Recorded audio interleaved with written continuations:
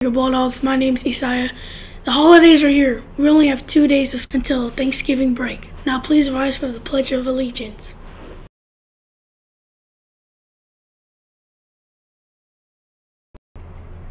I pledge allegiance to the flag of the United States of America and to the republic for which it stands, one nation, under God, indivisible, with liberty and justice for all.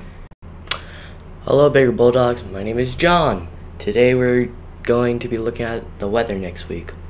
On Monday, November, November 25th, it'll be a high of 47 and a low of 36.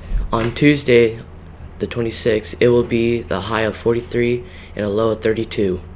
On Wednesday, the 27th, it will be a high of 42 and a low of 30. On Thursday, the 28th, it will be a high of 40 and a low of 31. And on Friday, the 29th, it will be a high of 39 and a low of 32, with a chance of snow. That's it for now. Have a great day, Bear Bulldogs. Good morning, Bulldogs. My name is Sadie, And my name is Armani. and we have your sports news. This week, your boys soccer and girls volleyball are going up against Jason Lee. For volleyball, on November 26th, varsity will be home and JV and C team will be away. For soccer, on November 26th, varsity will be home and JV will be away. Volleyball game starts at 3:30. Soccer game starts at 3 o'clock. Let's, go, Bulldogs. What's good, Baker Bulldogs? Happy Thanksgiving, and here are some quotes for the week. At the end of the day, I am thankful that my blessings are bigger than my problems. Never let the things you want make you forget the things you have.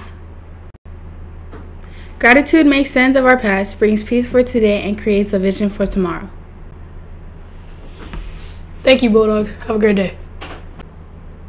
Good morning, Baker Bulldogs. My name is Malachi, and today I have your weekly news.